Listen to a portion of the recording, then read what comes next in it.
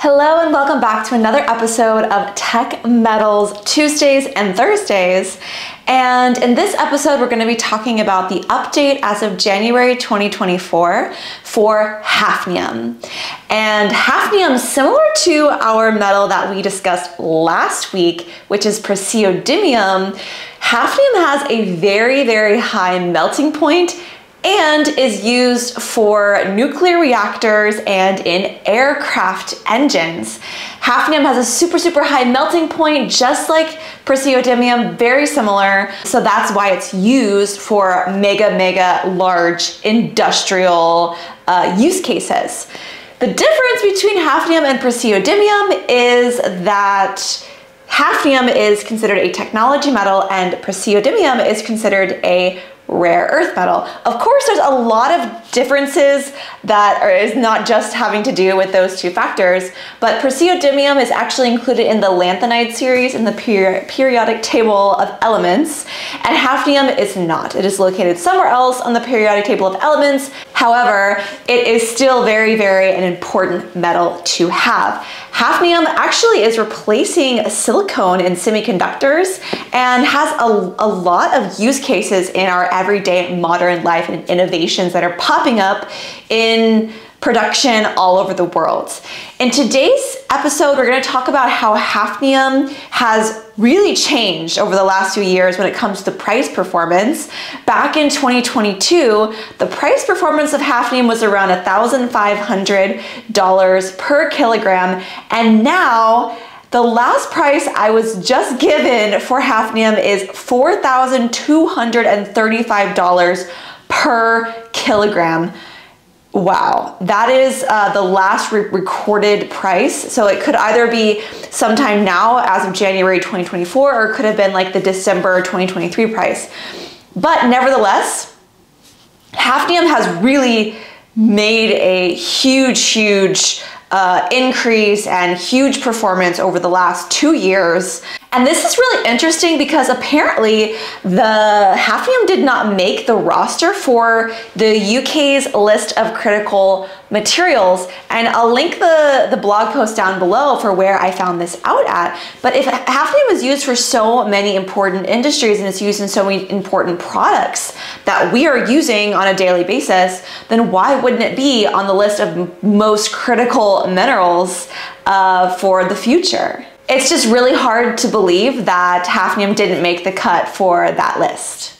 And according to Fortune Business Insights, the global hafnium market is projected to grow from 396 million US dollars as of last year in 2023 to US dollars 669 million by 2030 with a compound annual growth rate of 7.8% during that forecast period. So it's very interesting to see that the experts are saying that hafnium is going to continue to increase, going to continue to uh, Im improve uh, by a compound annual growth rate of nearly 8%, which is massive for any kind of tangible asset and it didn't make the, the UK's critical minerals list. I don't know if it made any other worldwide critical minerals list, but that was just one article that I saw that did not acknowledge the importance of hafnium. But hafnium is very important for the global economy. It's very important for the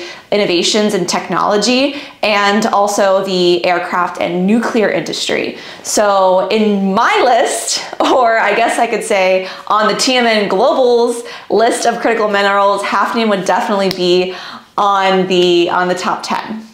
One last thing I just wanted to mention in this video that I thought was very interesting is that the sources of hafnium is coming mainly from Australia and South Africa for our sources for TMN Global, Rio World AG, where we are getting our metals, um, which is very interesting. A lot of metals are starting to pop up out of Australia. A lot of rare earth metals, technology metals are starting to be sourced from there. So it could be that in the next 10 years, Australia could be a force to be reckoned with. It could also be a world wide competition against China. Maybe they are going to be the next China when it comes to supplying rare earth minerals.